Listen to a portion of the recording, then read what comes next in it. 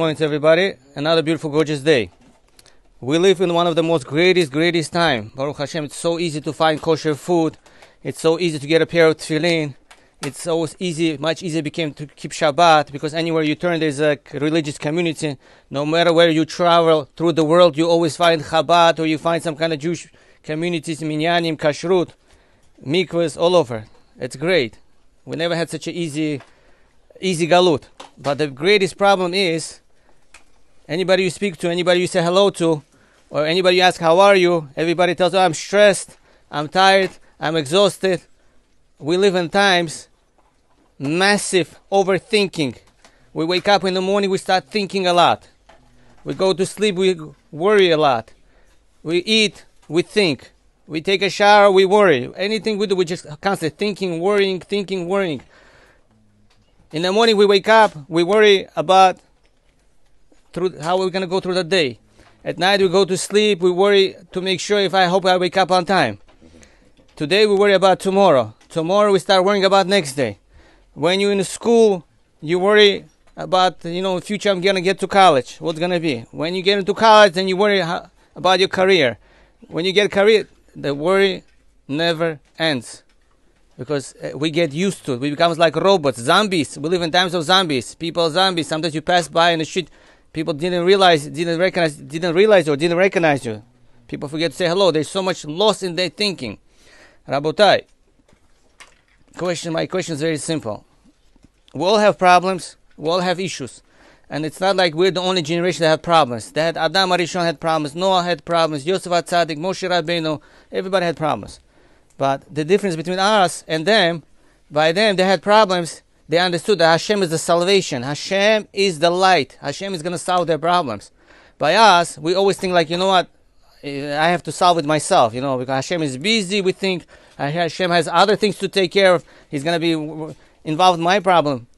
We think that we're the salvation. We're the, we know how to solve our own problems.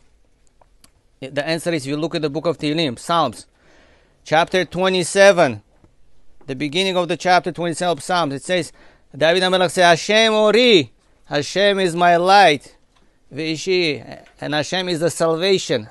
He's going to solve your problems. He's the light. He's our light, light, and He's going to solve our problems. Mimi Ira, what are you afraid of? What are you scared of? Why are you missing sleep? Why are you losing out from other serving enjoyments of serving Hashem? We're thinking about, oh, I have a problem. We all have a problem. But the problem is big as we make it into big S.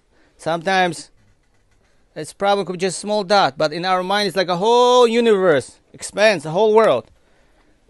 Rabotai, we all have problems. If you have a problem, is there a solution for it? No. If there's no solution to it, no. So why are you worried? There's no solution. Why are you worried? Why you can't sleep? Why you can't eat? Why you can't live life? There's, if you just answer your question, you have a solution for your problem? No. So why are you worried? If you have a solution for the problem, so again, why are you worried? Either way, we'll have problems. Is there a solution? Why worry? If there is no solution, why worry? Remember the pasuk in Tehillim. David HaMelech said, Hashem Ori, Hashem is my light, Hashem the salvation, He's going to solve it. Mimi, Ira, what are you afraid of? Who are we afraid of? Rabotai, Hashem is our light. We are, each one is spark of Hashem. Each, our, each one of our souls is spark of Hashem. It's also light. Light, Hashem is a light. Light attracts light. But if we fill ourselves with a worry, anxiety, panic attack, thinking about tomorrow, about next week, about next month, about next year, about in 20 years, we're feeling ourselves with the darkness. There is no space for Hashem's light. Make some space for Hashem's light. If we're only constantly thinking, worrying, being scared and afraid, and living in a panic, and being on medication, or substance abuse, chas You're not letting light come in to Hashem, light of Hashem come inside of you. That's the whole idea. We pray. What is the idea of pray? We pray. We allow the light of Hashem come inside of us. We make a bracha through the day on the food. Allow the light of Hashem to come inside of you. Not allowing the fear, anxiety, panic come inside of you. You have so much space inside that we invite inviting the darkness light of Hashem, constantly walk through the day, praising Hashem, thanking Hashem, being help, happy, accepting, allowing the light. It's like when you hug your child, Do you feel worried? Do you have anxiety? Do you think about tomorrow's problems? Are you worried about your bills? When you're hugging your child, you forget the whole world doesn't exist. You're having such a great time. This is the light. That's called the light of Hashem. You just, the light of Hashem is coming inside of you. Hugging a child. You're having great time. That's how you have to feel the love of Hashem through the whole entire day. Not hugging the problems. Not get lost in our problems. We get so much lost in our problems, we don't realize how far we gone. So Rabotai, next time we worry, Remind yourself the pasuk of Tehillim, what David HaMelech said. Hashem is my light and He's the salvation. Why? Well, there's nothing to be afraid of, nothing to fear. Everybody should have a great day.